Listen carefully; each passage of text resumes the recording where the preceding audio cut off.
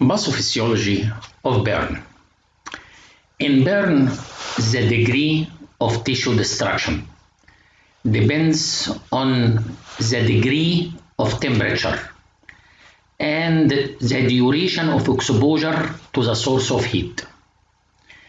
In burn, skin injury occur by immediate or delayed mechanism. Immediately once the source of heat come in contact with the skin.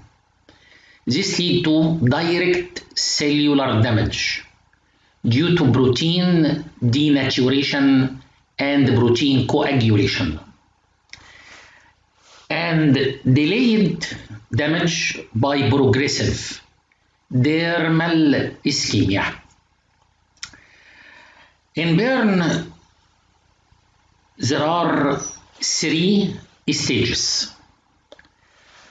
During contact of the thermal agent with the skin,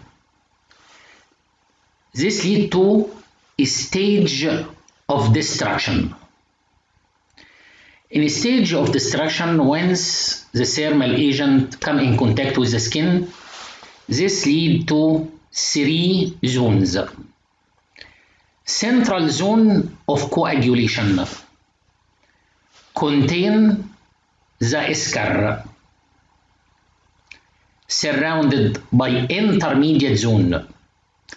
The intermediate zone called zone of stasis. This zone contain viable tissue now, but may die within the next four, the next 48 hours. If tissue oxygenation and proper nutrition is not maintained. There is areas around the previous two zones. This red zone is called outer zone of hyperemia.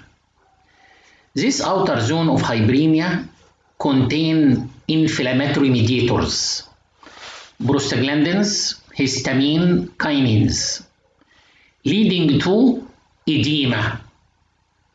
Edema and this zone usually recover completely. And in this patient, these are the three zones. The inner zone of coagulation, and zone B is the intermediate zone of stasis, which consists of viable tissue, which may die within the, 40, the next 48 hour if no proper oxygenation and nutrition. And this red area is the area of hyperemia. Um, after a stage of destruction, this is the first stage, which is a stage of destruction.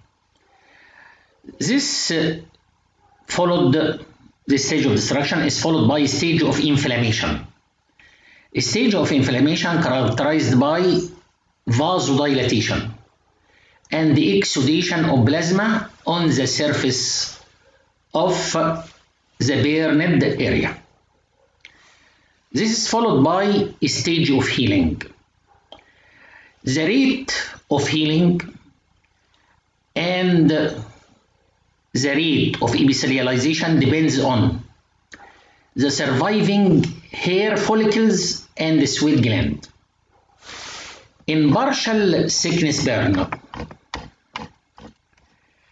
in partial thickness burn, the deep layers of the dermis containing the root of the hair follicles and the sweat glands and the destroyed tissue form a scar.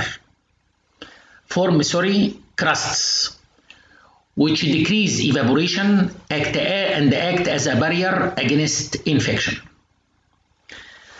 Within two to three weeks the crusts separate leaving full epithelialized healthy skin because the remnant of sweat glands and hair follicles leading to proliferation of epithelium ascend upward and spread below the crust and when epithelialization is completed this will separate the, class, the crusts away leaving full healthy epithelialized skin within 2 to 3 weeks.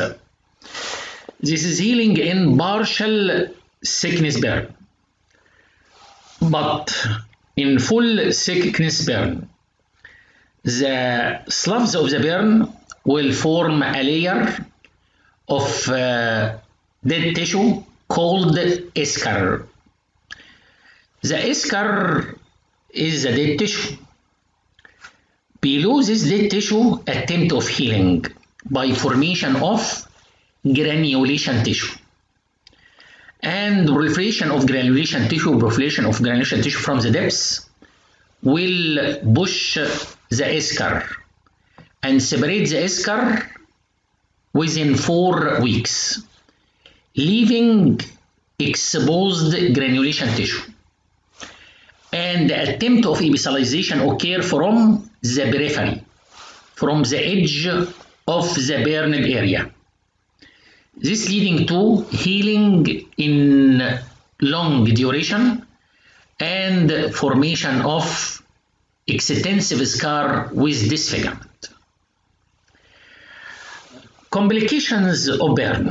What are the complications of burns? We can classify complication of burns into general complications and, and local complication.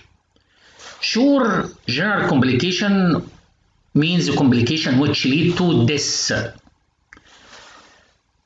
General complication, first of all, respiratory complication.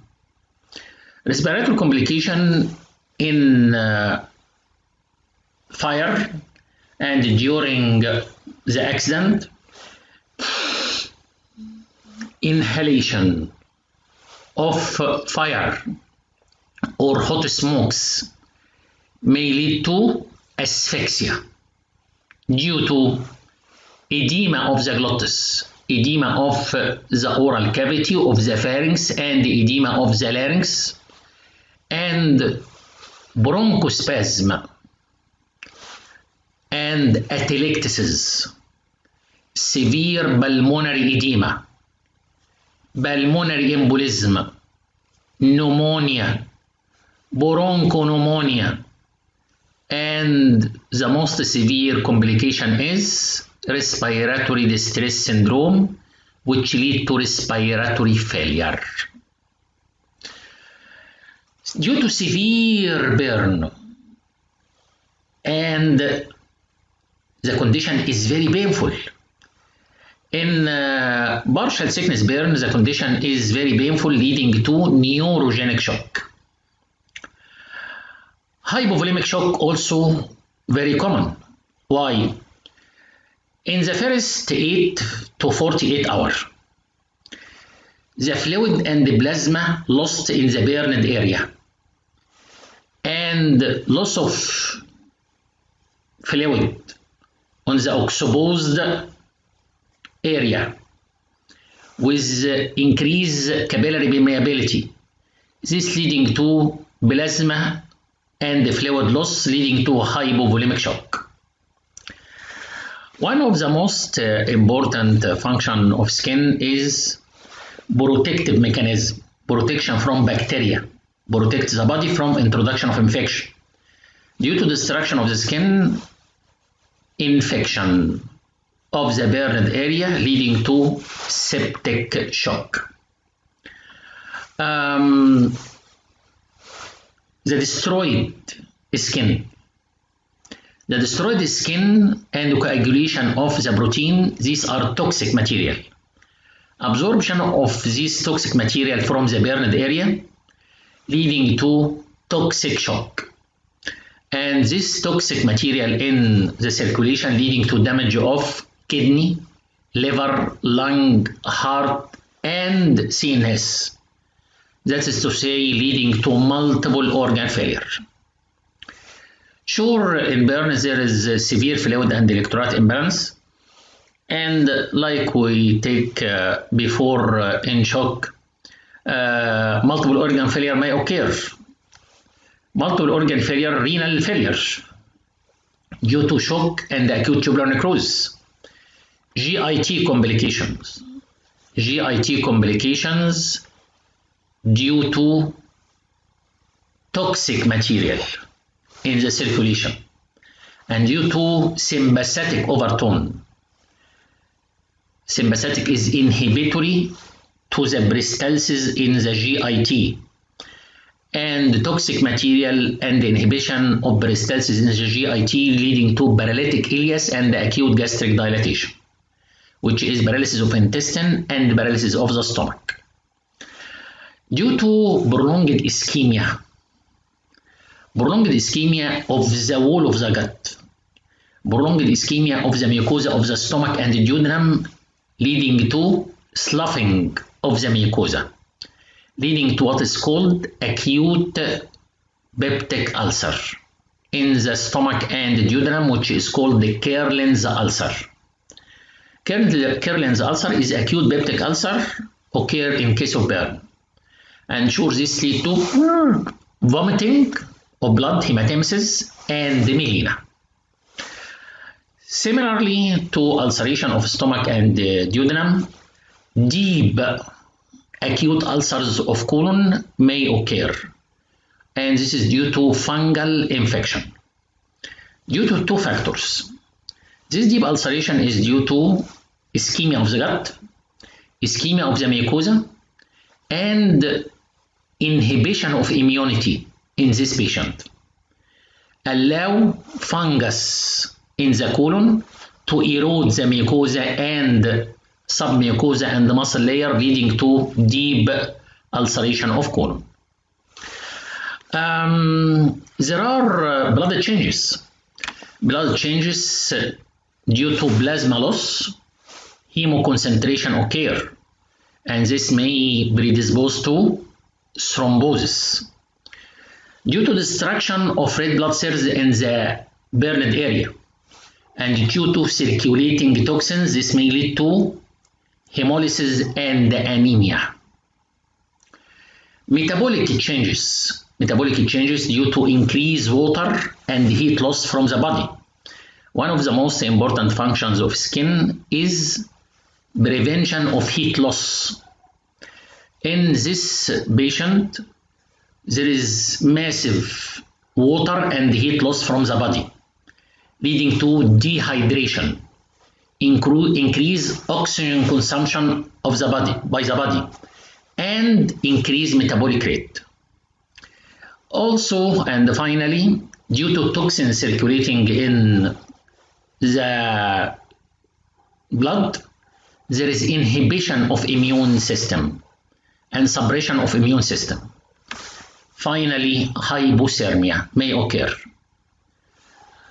Due to severe hypothermia in case of extensive burns, this may lead to DIC, disseminated intravascular coagulation, and the hypothermia may lead to cardiac arrest. These are general complications.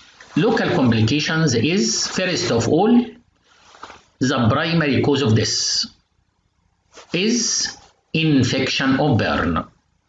Infection in case of burn may be bacterial, fungal, viral, or tetanus. And the infection is the main and the primary cause of this.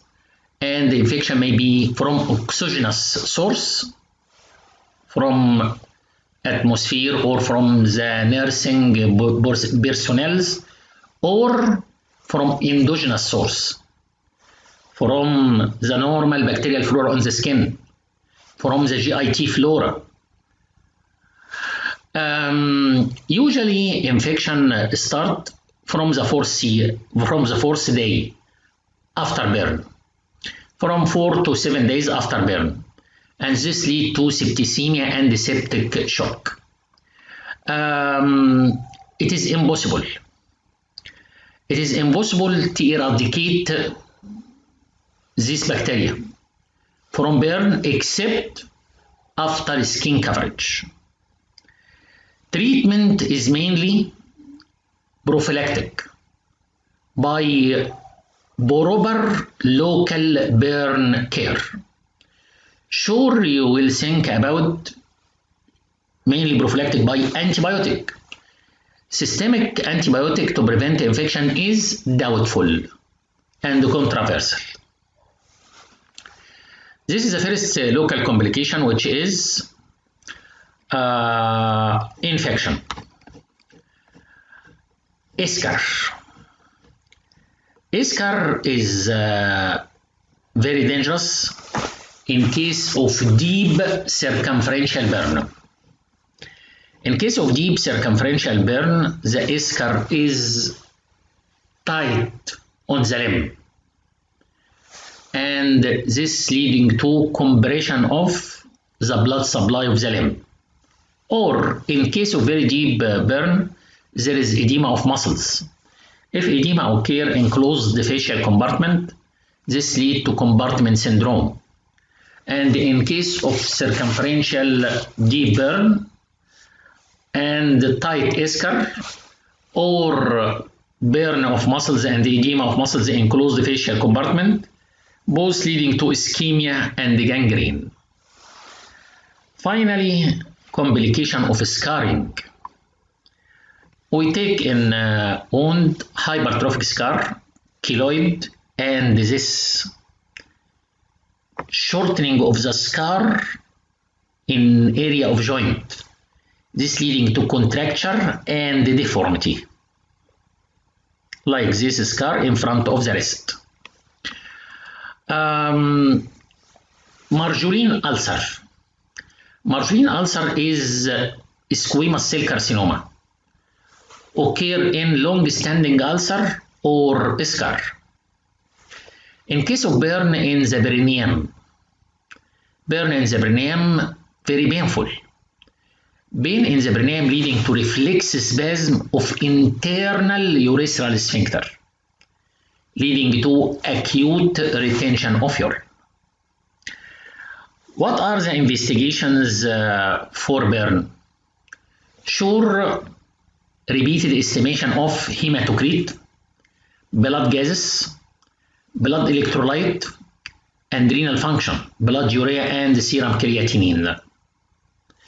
And also, we may need investigations to detect any associated injury like X-ray for associated fracture.